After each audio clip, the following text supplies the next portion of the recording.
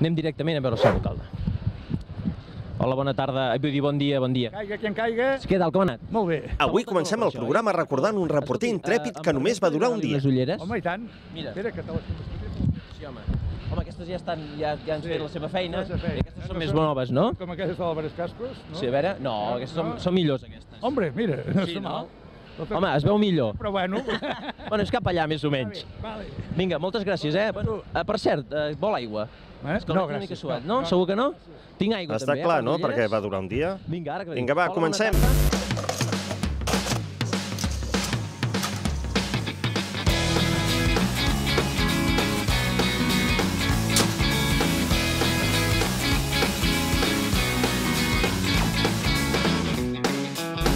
La selecció espanyola de waterpolo va perdre a nit per 8 a 9 contra Hongria a la piscina de la natació Terrassa. Els aficionats de la natació Terrassa no van poder veure en acció Pedro García, a qui el seleccionador Joan Gené va donar descans al igual que Rollano o Estiarte. Espanya, que va encaixar un parcial de 0-3 de sortida, sempre va anar per darrere en el marcador i ja no va poder remuntar davant els hongaresos. Feia més de 20 anys que a Terrassa no s'acollia un partit de la selecció espanyola i per aquesta raó més de 600 persones van omplir a vessar la piscina de l'àrea olímpica. Dels primers establiments a destacar a la nostra ciutat i aparegut durant el 97, col·laborant en la transformació urbanística de Terrassa, és el de la cadena Supeco, al barri de Sant Llorenç, que ofereix més de 2.500 metres quadrats de superfície de venda d'articles alimentaris. El Parc Vallès, zona d'oci i comercial d'estil americà i tradicional alhora, situat a Santa Margarida 2, és sens dubte un dels plats forts que se'ns acosten.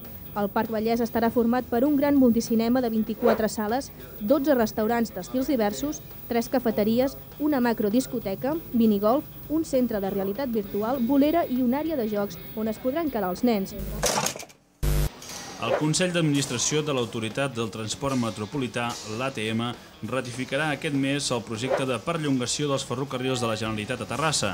Aquesta gran obra preveu fer tres estacions eh, més dels catalans a la nostra ciutat, l'una al campus universitari, l'altra que enllaçaria amb l'estació del Nord i una tercera a Can Roca. L'Ajuntament de la seva banda s'ha compromès a fer quatre aparcaments pels vehicles prop d'aquestes noves estacions. Doncs Jo sóc l'Enric Carreras Puigbó, vaig entrar a la Societat Municipal de Comunicació l'any 98, concretament a la ràdio, i més endavant, l'any 99, em vaig incorporar a la televisió. Hola, som quatre nois de Terrassa, ens diem Deixben, i als teclats toca l'Enric Carreras, el baix elèctric en Ferran, a la bateria en Salva Puig i el clarinet jo, Jordi Rosset. Atenció! Hem trobat les primeres imatges de l'Enric Carreras a Canal Terrassa. Va ser el programa 2 de Copes de l'any 1987. L'arxiu de Canal Terrassa sempre té cops amagats.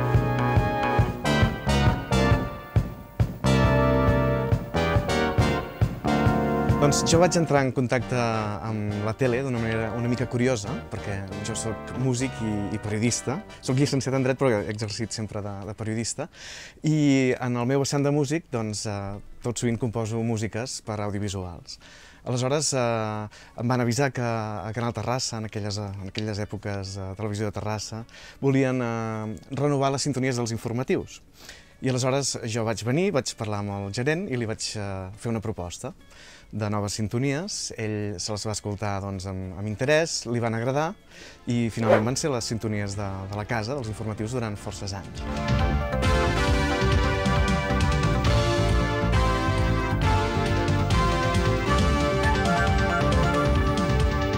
Això em va permetre entrar en contacte doncs, amb en Joan Rovira, que era el gerent en aquells moments, i coincidia, a més a més, que en aquells moments arrencava la ràdio municipal.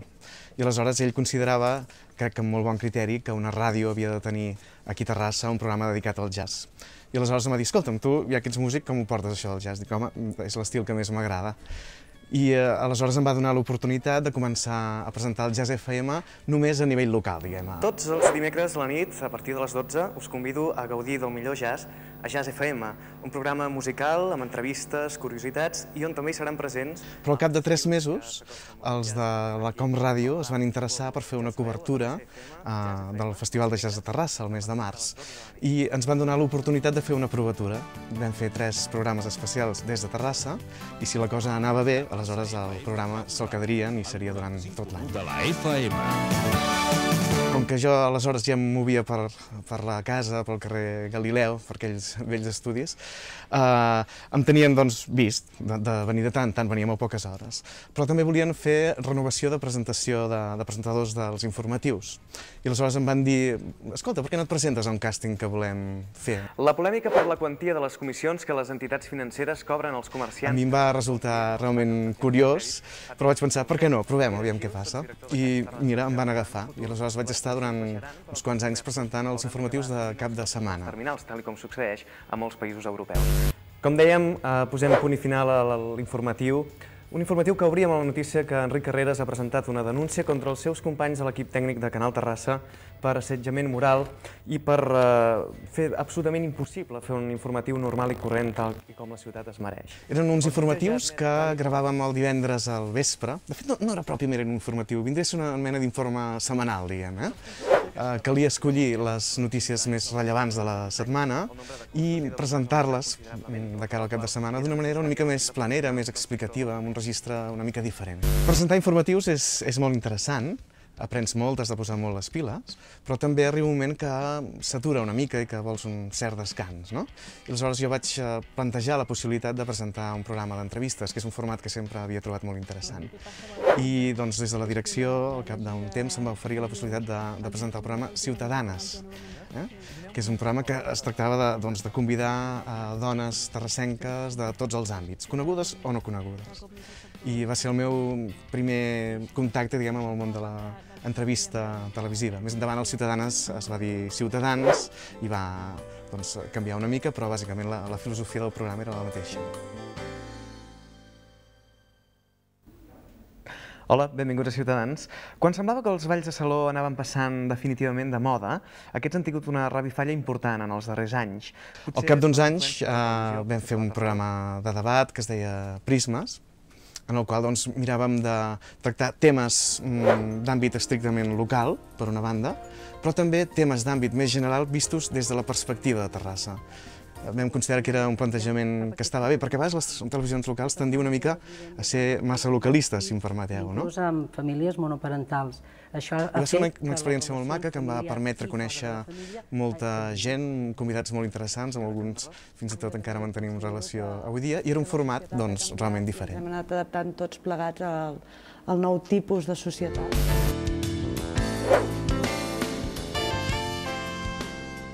Hola, benvinguts i benvingudes a la Ciutat a Fons, un espai des d'on volem seguir fil per randa l'actualitat política de la nostra ciutat. Després, al cap d'uns anys, eh, em vaig encarregar dels programes de contingut més polític, com ara eh, la Ciutat a Fons, que consisteix, com sabeu, en entrevistes als regidors eh, dels diferents partits polítics amb representació a l'Ajuntament, el debat obert, que és un debat entre representants de les diferents forces polítiques, normalment els, els portaveus. Amb la celebració dijous passat del ple de setembre s'enceta un nou curs polític a la nostra ciutat. Sí, anècdotes n'hi han, evidentment, amb tants anys passen moltes coses. Potser la més sonada va ser una que va ocórrer mentre presentava aquests uh, informatius del cap de setmana. Eh? Era un divendres uh, a la tarda, estàvem gravant, era un programa gravat, i els que us heu dedicat al món de, de la presentació de, de programes, sabeu que en l'addicció es tenen dies. Hi ha dies que tot flueix molt bé, hi ha dies que t'embarbusses constantment i que sembla que tinguis un gripau a la boca gairebé, no?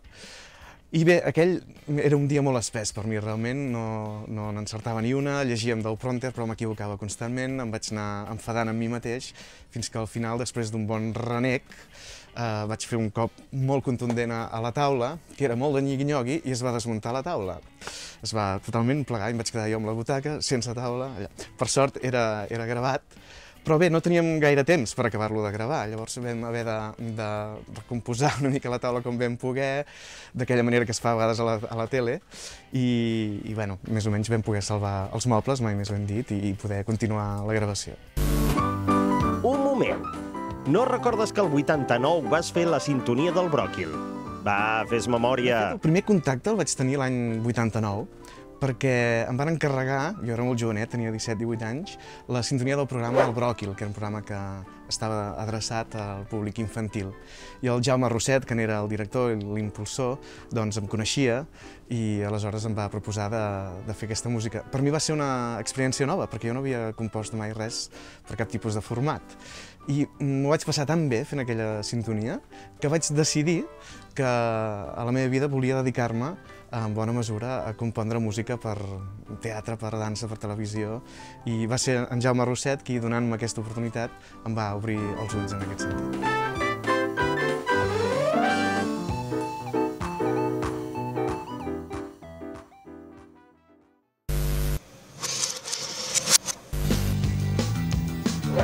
Mira't TVT i guanya. De dos quarts de deu a les 10 del vespre podràs participar en el concurs per guanyar una Derby Atlantis. Amb la col·laboració de Motos Vilaplana i Derby de Red Power. Mira't TVT i guanya.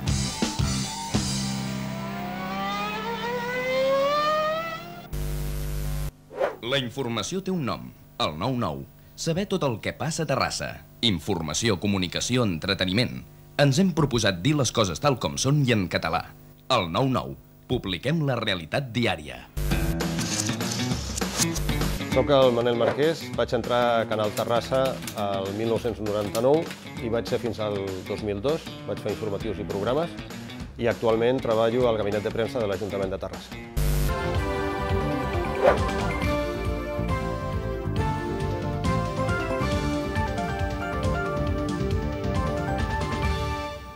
Bona nit. Els tres principals candidats a administrar l'Hospital General de Catalunya podrien arribar a un acord per gestionar-lo conjuntament. Havia estudiat periodisme i portava un, un temps que no estava treballant en mitjans de comunicació, tenia, tenia moltes ganes de, de tornar-hi i vaig veure que, que aquí hi havia una oportunitat, em vaig presentar unes proves i jo vaig entrar primer inicialment a informatius, L'Escola Universitària de Negocis de Caixa Terrassa, l'EUNCET, ha fet el Al cap de sis mesos de Ciències Empresarials. Uh, va marxar la persona que presentava els informatius en aquella època, que era la Thais Trujillo, i m'ho van oferir a mi, vaig estar presentant informatius una temporada, i després vaig passar a editar uh, l'informatiu. Les sobretot a Terrassa, aquest 15% que han baixat és impreocupant.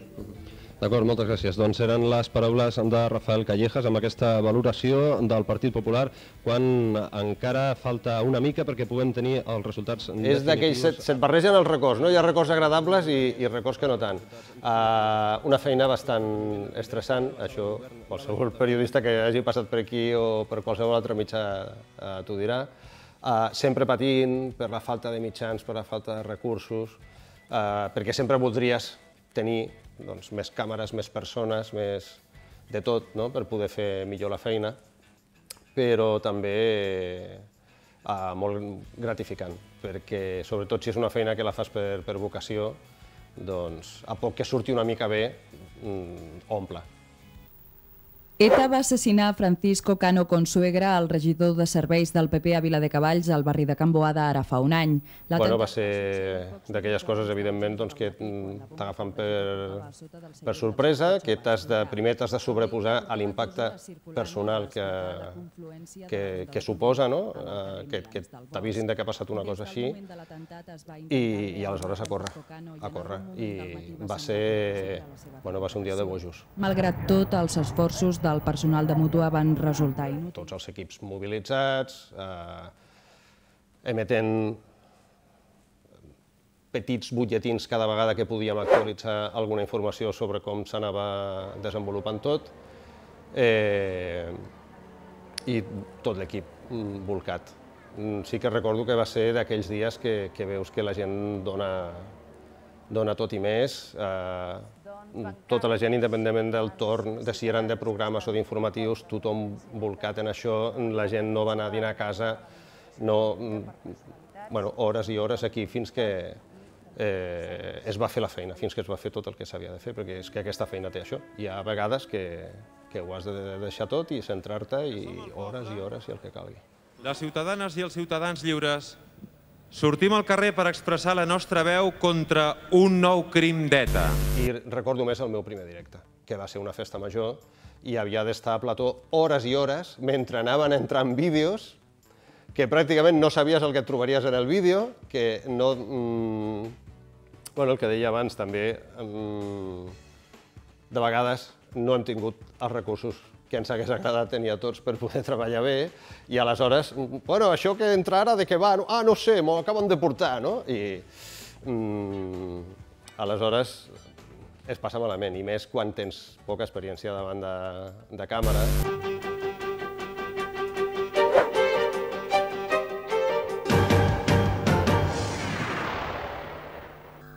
Terrassa és una ciutat molt productiva. Des del temps dels vapors fins a l'era d'internet, la nostra ciutat ha estat i és un dels motors del país. Sabíeu que a Terrassa hi ha empreses pioneres en la utilització de noves tecnologies? El Joan Rovira, que era el director en aquell moment, eh, em va proposar fer el Fet a Terrassa, que era un programa d'economia a través de l'excusa una mica era explicar com es fabricaven diferents coses a la ciutat. Uh, però clar, era un programa d'economia, és una cosa molt especialitzada. Jo no tenia una formació específica en economia i aleshores d'entrada em va agafar una mica a contrapeu. No? Bueno, mira, si s'ha de fer ho farem, no? Però la veritat és que en molt poc temps li vaig agafar el gust Uh, en primer lloc perquè jo mateix vaig aprendre moltíssim, no? I, i després perquè vaig veure que, que l'economia doncs, també podia ser, uh, es podia explicar d'una manera més o menys amena sense que fos un, un totxo. No? Perquè vostès puguin veure un programa fa falta una càmera, però aquesta càmera no funcionaria sense això.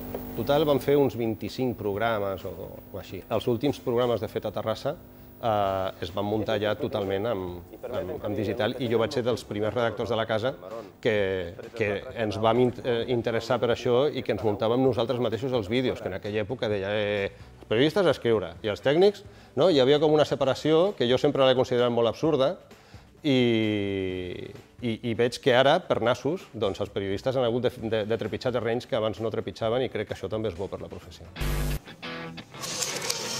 Fa dues temporades que vas començar jugant al Mallorca B, a la mateixa categoria que el Terrassa, i, i ara ja ets titular de la, de la selecció sub-21. Aquesta trajectòria ha sigut molt ràpida. Consideres com creus que, que ha anat? Sí, un parell de tres anys, doncs, eh, la meva vida la veritat és que ha donat un canvi radical. I, bueno, vaig acabar de, de juvenil i, i bueno, vaig anar a provar allà al Mallorca B. Bueno, de segona també em va anar molt bé, Està clar que el futbol és així. I, i bueno, va ser quan en Cooper em va pujar al primer equip del Mallorca. Sí, sí, s'ha de guanyar partit a partit. Aquest any al Màlaga i, i ara aquest any doncs, segurament tornarem a Mallorca. A la platja. Per què? No sé, perquè m'agrada prendre el sol i banyar-me a la platja. No sé, perquè m'agrada més. A la muntanya? Sí, Per sí. què? Home, perquè hi ha més tranquil·litat. I a la platja hi ha massa contaminació, massa gent que, que tira coses brutes. Oh, hijo mío, no puedo ni a la montaña ni a la playa. Yo la playa. Ya tengo el apartamento y todo. Al pueblo. Mm, Pero prefiero más la montaña que la playa yo. La platja. Sí, per què t'agrada més? Per, per banyar-me. Montaña. Per què? Siempre, siempre voy a la montaña, es lo que tengo costumbre. La platja molt més perquè és més divertit i a mi em va molt bé l'aigua. La playa. Sí, per què? No sé, porque el- me gusta el sol, la playa y la gente que hay en la playa. Jo la, la muntanya. Per què? Per què li agrada més? Es veu que, que està més bé, vaja. Platja. Per què? No sé, hi ha més ambient. Suposo que per, per anar a la, a la muntanya és més aviat a l'hivern. La Setmana Santa, no sé. Jo a la muntanya, sí. Per què? Per què? Pues perquè a la platja em cansa de seguida. Platja. Per què? No sé, ja és, és, és més calor, fa més calor a la platja, no? Pots banyar si tens calor, a muntanya no. I tu? Jo també a la platja, perquè allà hi ha onades i pots fer més coses. Aquí no, a la, a la muntanya només hi ha, hi ha herbes i ja està. Hem arribat ja al punt i final del collage Vinga, d'avui Josep, dijous. avui Com pogut acomiades tu el programa. Del nostre programa hi ha força activitat prevista per aquest pro- propers dies i és per això que nosaltres ens retrobarem dijous Josep, de la setmana que ve per donar-vos tots, eh, tota informació d'aquelles activitats Solà, més que destacades que han tingut a la nostra ciutat. Doncs així ens, ens acomiadem. Serà fins dijous que. Fins llavors. A reveure. Ara. Felicidades, Canal Terrassa, sois los cracks. Doncs moltes felicitats. Ah, pues moltes felicitats, per molts anys. Felicitats, feu una feina molt interessant i que serveix per tota la, la ciutat. Moltes felicitats. Bueno, moltes felicitats, Canal Terrassa, pels 30 anys, 30 aniversari. Jo n'he fet 30 també i és molt dur, però vol dir que porteu molt temps en actiu, així que felicitats. Muchísimas felicidades, que cumpláis muchísimos más. Moltes felicitats i que passi 30 anys més. Per, per, per molts anys, eh? Molt bé, eh? estic molt contenta. Felicidades. Felicidades al canal de Terraza. 30 años se tienen que celebrar, así que pues, un abrazo a todos, ¿no? Felicidades. Muchas felicidades y que sigáis muchos años. Y no sé qué más, sigáis así y bueno, y adelante y hablar de la ciudad, que es lo que interesa.